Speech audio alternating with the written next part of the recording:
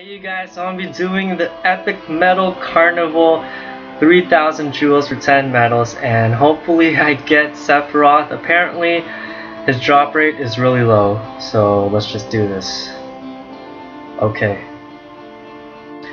And some other ones you could get are Hades, um, the Sora and Friends. So hopefully we get that. Ugh. I see. I see black medals. Okay. Well, we didn't get him, but we got some other good stuff. So let me see right here. Alright, so that's Tinkerbell, Genie. We got Beast, which I'm pretty happy about. I wanted him. Um, we got Timeless River Pete. That's pretty cool. Um, him.